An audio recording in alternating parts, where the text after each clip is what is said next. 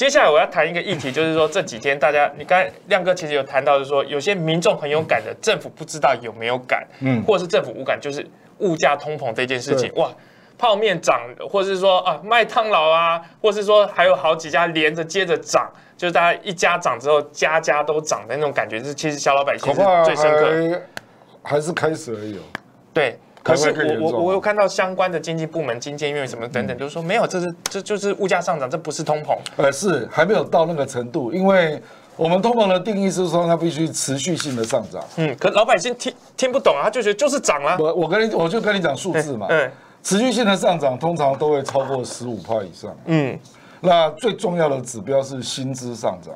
嗯，你的薪水会上涨。嗯哼，薪水上涨就会带动一切嘛。嗯嗯，那我们现在主要的是原物料的上涨，对，能源的上涨啊。那因为我们很多东西都是进口的，嗯，哦，比如说我们的大豆是进口的，所以你猪肉一定涨，嗯啊。那比如说玉米，我们玉米是进口的，对，所以现在 那个麦当劳玉米汤不是涨了二十趴嘛，对不对啊？那能源我们都是进口的啊，可是。我们的薪资，你知道军工价明年涨四趴嘛？嗯，对不对？对，那那个还会再带动上涨。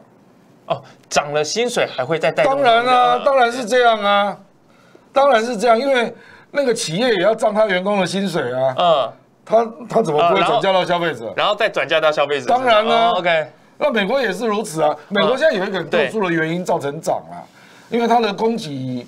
它的供应链发生阻塞嘛，嗯，就大家认为说经济有点复苏嘛，所以就开始加订单嘛，对，那结果运不出来，啊，运不出来有非常多的原因呐，啊，包括突然之间发现货柜船不够用，对，啊，那或者是说缺工，比如说你要挖油嘛，因为油不够啊，那很多石油就要生产嘛，嗯哼，那结果找不到劳工啊，那美国是更明显，因为美国是把中南美洲的那些人都赶回去了，嗯。所以他肯德基连那个鸡肉要拆骨头的工人都没有。嗯，所以现在那个无骨无骨鸡肉现在在肯德基很多地方都买不到。你说赶回去，因为当初也是因为疫情的关系，把把这些或者是或者相关的，或者是那个移民因素，移民因素，嗯嗯，总之了啊，然后那美国有很多下层阶级的工作都是这些有点灰色、非法、合法嗯移民做的啦。对。比如说货车司机，对啊，就是一一股灰色经济的力量。对对对对对，结果现在货车司机也找不到工啊。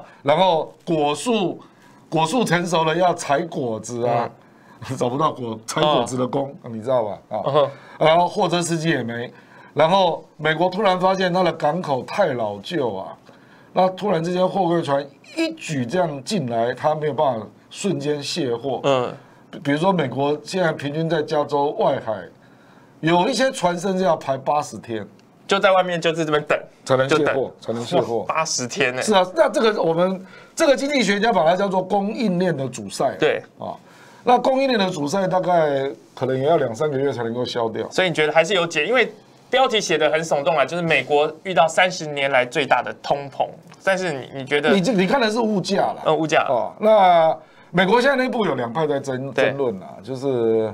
这个到底叫不叫通膨啊？嗯，会不会是因为疫情刚刚缓解嘛？嗯嗯，那复苏的力道开始往上嘛，所以突然之间有人下了很多订单了。嗯，啊，那这个当然也会造成物价上涨嘛，因为供不应求啊，供不应求啊，啊，供不应求当然会涨嘛。那这个还有我们刚刚讲缺工啊，对，这些种种原因啊，啊。啊，它会不会继续涨？美国就是现在有两派的人在赌了。嗯，有人就赌说明年三月之后应该会慢慢降下来。对，叶伦现最新的说法也是说，这个二零二二年下半年的 CPI 的增增幅会变缓了，它增零点。对了，可是这个就是我们的主计处也常预言错误啊。嗯，那个现在就有人在警告叶伦了，就说，市场坦白讲，这种人还不少。《华尔街日报》就已经警告很多次了。嗯，他说：“你明年三月之后，如果还继续涨，你就控制不住了。”嗯，那美国在一九八零年代，因为徐府还小了。对，你一九八零年代，你如果去过美国，你就知道，那那一年的通膨是二十四帕，二十四帕那很，而且那一年的薪资的上涨率是二十帕。哦，这个才叫做通膨。嗯。就是你很你很有感，你的薪水涨了，但是外面的物价涨了对更多，这个才叫通膨。OK，我们现在是担心是另外一种状况，是。就是物价涨很高，对，可是那个购买力的需求并没有上升，嗯，那你的薪资也没什么涨，就是大家常讲的万物都涨，薪水不涨那种，那这个就会变成滞胀。就是停滞膨胀，你知道我的意思？我们现在是担心会是停滞膨胀，这个更严重，还是哪种更严重？停滞膨胀，你等于是两头苦了。嗯，就是物价也涨，对，你也失业，对，或者是你薪水没涨，所以是痛苦指数飙到最高了。是，就两边都痛苦嘛。那通通膨是，你失业会变少了，对，你工资会上升了，对，那可是物价你可能追不上，对，这个就是通膨嘛，对。啊，我们台湾跟大陆有些人怀疑会不会是智障，呵呵，就说可能是痛苦指数最高的，做那个成长也变缓了。坦白讲，我们台湾今年的经济有很大一块是半导体外销撑起来。嗯，我们对中国，我们外销有一半是半导体，嗯，一半是外销，那。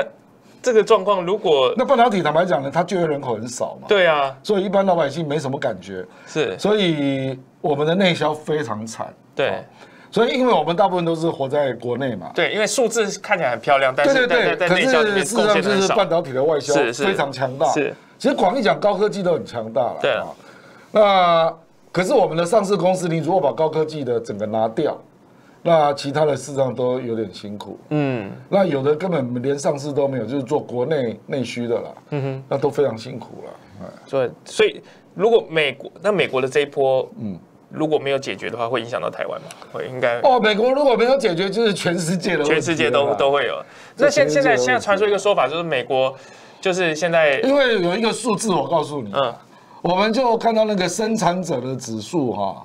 就是我们我们台湾叫统购价格了哈，就是在那个企业端的价格，然后我们讲那个 CPI 是指消费者的价格嘛，嗯我们这这两个的差叫做剪刀差了，嗯，就 PPI 跟 CPI，P 就是生产者嘛哈，我们台湾跟中国还有日本都超过十趴，十趴，嗯，这什么意思呢？表示企业拿到了原料，原料端的价格已经涨成那十几趴，嗯嗯嗯。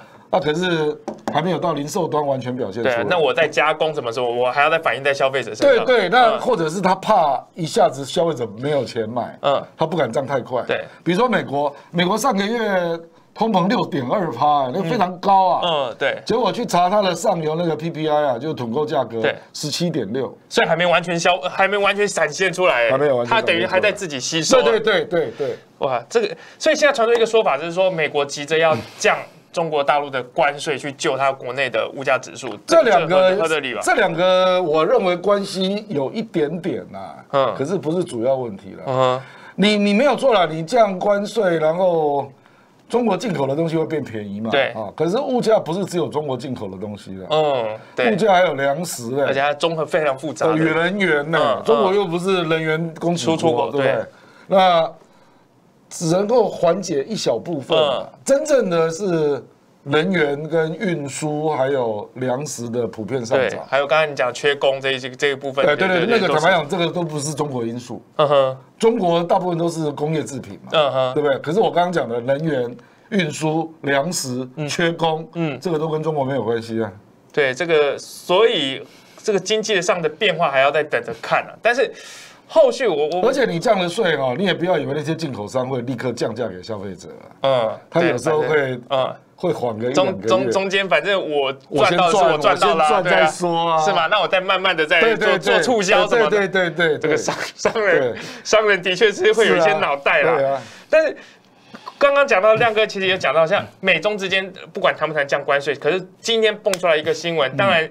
前面已经大家已经都已经收到这样的讯息了，就是所谓的民主峰会，呃，白宫也正式宣布就台湾参加，对，然后俄国当然没有，中国他当然也没有，连新加坡也没有这件事情，泰国也没有，泰国也没有，对，这个在选择这些的时候，会不会进一步的让这个拜习峰会，还是说拜习峰会有谈到这样的事情？我觉得这个不是民主峰会啊，嗯，民主这个叫亲美反中峰峰会，对，哎，到时候你看蔡英文总统会跟。拜登在同一个视讯，蔡英文是会交流吗？不知道啊，会不会？是不是有蔡英文还不知道？还不知道哦，就是说我要你参加，但是我不见得要到那么的刺激。我觉得本来本来因为四个东西是这样啦，因为拜习会才刚结束嘛，嗯，那接下来不是有四个工作小组要启动嘛，啊，那美国坦白讲最希望中国采购的就波音客机了，嗯，哦，因为波音真的财务非常严重，嗯，那就是因为中国抵制嘛，啊。那中国一直对那个七三七的 MAX，它到现在还不合法使用。嗯，那光是七三七的 MAX，中国就有九十六架。嗯，你如果十二月九号确定邀请蔡英文上视频啊，嗯，我跟你保证，波音订单就没了。哦，就一定会有反制的作为嘛？一定有啦。对啊，你才跟我失去第一次失去峰会完，你转头去跟蔡英文失去峰会，所以我认为中国手上是有筹码的啦，因为美国需要它。完成剩下的那三十二趴采购，嗯，那八三十二趴是八百亿美元所以中国手上有筹码，换过来美国会拿这个民主峰会当一个筹码，就是说我我会让他没有办法，因为我那个订单年底前都可以下，嗯，我不一定要在那一天前后啊，嗯，所以我是先看你美国怎么样的表现出来，对，我觉得会是这样，还有冬奥啊，美国也要决定要怎么抵制啊，是，那。中国就会讲说啊，你不是刚说你不会挑战我的政治体制吗？那怎么新疆人权就就来了？新疆人权又是问题了，嗯不是吗？因为你你抵制冬奥就是新疆人权嘛，对，不然还有什么？是，对不对？然后中国民主峰会也是挑战他体制，是嘛？因为他讲了不，他讲了三条底线。嗯，民主峰会不是挑战体制，是对他主权领土的不尊重。嗯，他有三条底线嘛，一个叫做挑战的政治体制嘛。嗯。那第二个是不要妨碍我崛起嘛，嗯，那第三个是主权领土要尊重，嗯，对不对啊？那那个拜登不是还要继续搞科技战吗？嗯，那甚至还要去搞那个什么印太经济架构，嗯，那个事实上就是科技战的另外一个延伸呐，嗯，那你不就又在妨碍我崛起吗？嗯，所以等于是三条底线都被挑战。哦，那那这个拜登峰会的意义在哪里？主要就是表示就只有。很很非敏感的项目嘛，比如说经贸的关税啦，增加一点采购啦，还有气候变迁的议题啊，大概只有这样。对，就回回过头来，大概双方看起来的成果不会很多，成呃竞争，而且竞争的那个趋势还是还是在啊。你几乎可以笃定核武对话没有用。嗯，对，中国不会做任何让步了。对，好，那那你如果在民主峰会确定有小英的视频呢？那我认为波音订单大概就是没有了。嗯，但这个状况之下，我们常常比喻就是很很古老、很古老的比喻，就是美中两只大象在打架。嗯，那最近受害者出来了，受害者就是所谓的台商。但是呢，这是先前，当然北京那边也有说警告说，你所谓的什么资助台独的企业，这个会予以惩罚等等。现在看起来远东就被开第一枪，但原本他国台办也可以不讲。但是国台办也出来讲，其实人家这样问他，被动他就证实这个就是我一方面你有违规，就是远东我查了你好几个厂，的确有违规；一方面我也说，哎，这个就是对台独的一个惩罚。亮哥你怎么看这这个事情是真的打到点上了？我因为中国不可能直接用政治理由说我要罚你，嗯，啊，比如说你支持台独，对对，我就罚你，不可能这样了，因为如果这样，那你你基本上就违反 WTO 了嘛，嗯。你 WTO 还是要根据经济上的特殊的因素啦，而且法令上有根据啦。那所以中国基本上就是我到底要不要抓你这样的问题啊？因为中国的法律的执行的强强强度，嗯，那个是有弹性的。是是。所以徐旭东远东集团事实上是五个省联合调查嘛，这不可能是一一两天就出来的啦。是，因为它本来就在淘汰三高产业嘛啊。包括我们讲那个高高耗能啊、高污染跟高排放嘛，啊，那远东有石化业又有这个水泥业，嗯，本来就是调查对象，嗯。啊，那只是刚好碰到这个事情嘛，所以他就把它扣在一起了，嗯。哦，因为远东集团刚好二零二零年好像是台湾政治现金最大的企业集团，就是贡献给政治。就蓝绿吗？还是五蓝绿？蓝绿五千多万嘛。嗯哼。那有人去统计了，大概六十九趴是给民进党的后。但是，所以是七三比七给绿，三给蓝，这样差不多。哇，大概六十九比三十。等于蓝只是说我照顾一下，但是他他其实压绿了。不，因为本来民进党席次就多嘛。是啊。那对远东集团来讲，他当然是压会当选的人嘛。对对。坦白讲，台湾的企业都是这样。是啦。当然有一些特殊例外啊，可是不然大部分都这样啊。那他就刚好被挑出来当做对象，这样。可是他也没有讲的很明啊。可是那个味道就出来了。我我注意到国台办说话，他是说远东企业违反了什么什么什么什么差了什么。那另外一方面，他不是指远东企业，他但是台独的怎么样怎么样怎么样怎么样。然后所以，但是听的话，你就前后连连在一起，你就好像这个事情比较麻烦的是后续的，他还没有办第二家了哈。嗯。可是网络上就会有人开始造谣嘛。嗯。比如说，就传出什么十二个台独金主了。嗯对对，有些影片，对对，有些影片，你也不知道是真的假的。这个我觉得有点像演艺圈呐，演艺圈那时候黄安不是到处乱点名嘛，对不对啊？那因为你不确定他下一个步骤是什么了，比如说会不会有所谓的下一个台独金主，嗯哼，啊会不会有那三个顽固台独分子之外还有第四个人，嗯啊，这个都现在都目前处于不确定状态，嗯哼。那事实上美国跟中国也是这样啊，他们也互相搞了，嗯。美国、中国也列出二十八个美国、美国双方常常会有、会有、会有一些名单啊，把它列为黑名单。黑名单啊，对啊，那也不能够去中国做生意啊，干嘛啊？对。那美国佛罗里达州那个参议员 Rubio 就是啊。对。哦。那可是因为美国够大，所以 Rubio 还可以靠我就做自己，不做中国市场的企业来募款嘛。那台湾这个难度会增大了。对哦，尤其是你如果要选县市长以上的公职了，所以我才说这几个人被点到了，或是后续还有人被点，这样子的做法真的会对选举会会有影响吗？还是我觉得选立委还好，嗯哼，因为立委大概我们台湾就是大概需要两三千万到四千万左右啊。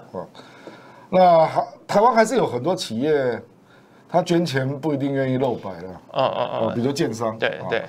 哦，比如说那，尤其是中南部了，中南部有一些很多企业，他不愿意透过一些管道去捐，他不是不是不是用政治中南部还有什么寺庙团体的，嗯嗯，就是比如说哪边掉了钱，然后哪边人去捐，还有那个台湾的本土药界啊，哈，哦，很多了，就是但是立委可能这个还是 OK，但是如果你说到你要选县市长，县市长。难度很高，对，因为你要选个台北市长，那起码要募个两三亿吧，呃，所以杀鸡儆猴，你不太可能。不接触到上市公司了，对。那我们台湾的上市贵公司有百分之七十三点七，就在大陆都有投资。嗯哼。那这样子杀鸡儆猴，现在警到了吗？我觉得有，你觉得有？我认为有。那比如说远东集团，他下一次二零一八啊不二零二二，他就会非常谨慎。嗯。但其他的集团企业也会看到，那连带的好这些企业，我就顶多不了我这个政治现金这这部分，我就比较保守。我除非他私下给你了。那可是，可是老实说，是违法了。哎，这个就是违法，没有错了。就是你，因为坦白说了，我们政治献金法也实施了快要二十年了，也很多年，所以大家也习惯。嗯。所以你捐给蓝跟绿啦，那大家就觉得说啊，反正我就要公司出账嘛。嗯嗯。那这个没有牵涉到我个人的财务嘛，对不对？好，一切合法嘛，对，对不对？那你如果因为这个因素了哈，那导致有人必须要走地下了哈。嗯。那这个坦白讲会很复杂啦，是这。对对，企业界跟跟这个候选人来讲的话，会有一而且上市公司坦白说，他们也不想违法了。对啊，这个这违这如果被抓到或是被对了，因为而且你在选举，万一对手，那就变成是你跟那个企业主的个人交情。对了，那他拿他私人的钱给你，这样，嗯嗯，就会变成这样了。对，所以那候选那候选人真的。如果不靠这些现金的话，他他的他的选举是很很伤哦。我认为县市长以上非常不容易募到这么大的额度了。那立委市议员倒还好，对啊，嗯，就还可以。但但是后续的变化就是亮哥觉得还是要进一步的观察，会不会有再下一步的动作？因为有些人，比如说比如说我随便讲好了啦，比如说呃，我们说苏巧慧，嗯，苏巧慧一定会连任立委嘛。对。那这个到底对他是好还是坏？我觉得很难说了哦，因为有很多人会说，哎呀，他可能因为这个事情受害，没钱但有票，对，所以就有一些小的中小企业来捐钱给他。哦哦哦哦，那他们没有去中国做生意啊？哦，你知道我意思？所以另外的来源，哎，对对对，就可能会有一些企业就说啊，那我们就去集中来支持苏巧慧了啊，不，他上市公司他不好募款啊，这样，所以这个很难讲啊。是。因为目前只有这个个案比较明显嘛，对，因为她是苏贞昌的女儿嘛，对，那所以她就会变成瞩目的焦点，对。这样。这后续大概可以再观察一下，蛮特别的一个选战的变数啊。